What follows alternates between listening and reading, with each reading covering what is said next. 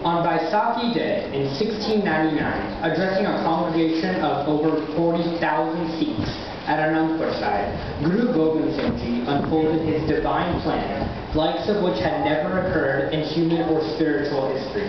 Guruji wanted a practical translation of Guru Nanak's message as written in Sri Guru Granth Sahib. Jo to prem ke lanka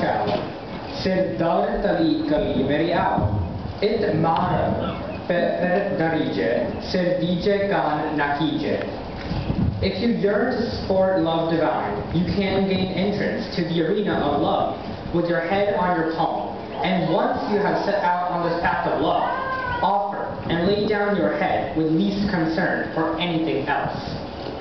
Guruji came out of a tent carrying a sword and asked any for any Sikh who was prepared to give his head for the Guru. This call from the Guru sent shivers to the spines of the Sikhs present in the congregation. On the Guru's third call, finally, a brave man emerged from the crowd and humbly presented himself to the Guru. The Guru took him inside the tent and reappeared alone with his sword drenched in blood. He then requested another volunteer and repeated the action four more times until all been taken into side of the tent. The crowd was very concerned and awaited anxiously for the next word from the Guru. Then the Guru emerged with all five men, dressed piously in white.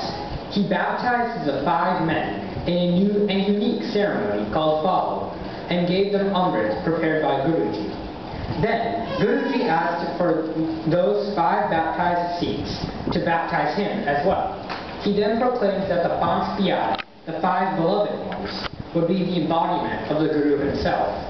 Guruji said, where the Pyare are, there am I. When the five meet, they are the holiest of the holy. All those who receive Amrit from the five baptized Sikhs will be infused with the spirit of courage and strength to sacrifice. With these principles, he, he established Panth Khalsa, the order of the pure ones. Guru gave his new Khalsa a unique, indisputable, and distinct identity.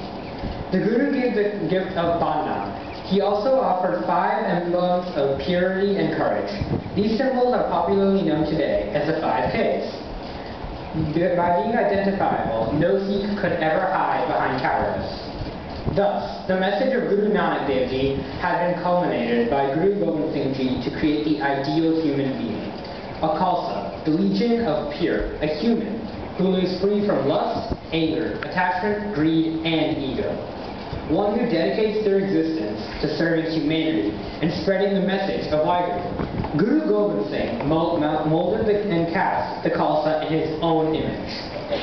This day makes a birth of Sikhism as a collective faith, and today is our spiritual birthday. Tikki Talwar ne Sanyu Janam Ditta Gertie Millie kan die daar bitte. Sikki Siddak te sir de star soni. Sada vakra e rup sansar vich saryan tu. Vaisaki diya lak lak badaiya, Waheguru ji ka khalsa.